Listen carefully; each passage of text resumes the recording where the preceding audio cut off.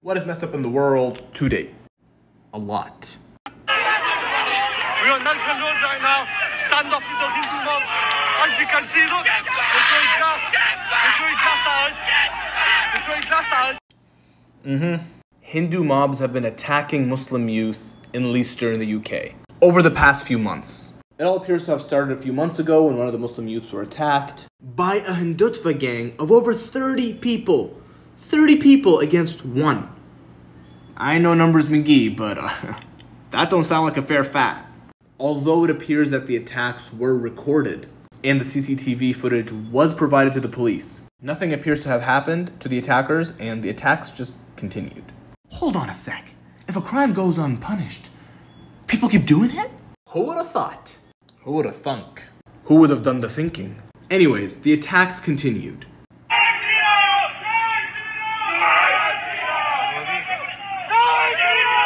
Apparently, also, a Sikh man was attacked by the Hindutva mob. So, what I'm hearing is they're an equal opportunity attacker, so everybody has an equal opportunity of being a victim.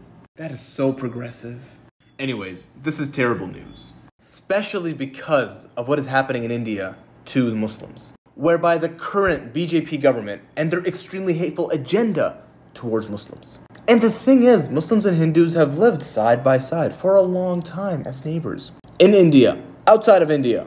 Yet, with the recent bigotry being spread by the BJP government in India, many extremist Hindutva gangs have been rising, and many are being emboldened, and they start to attack their Muslim neighbors in India and outside of India, as we see in the UK today. This hate is being exported and encouraged. However, these extremist Hindu gangs have be- they bit off a little more than they could chew, and many Muslims ended up confronting them.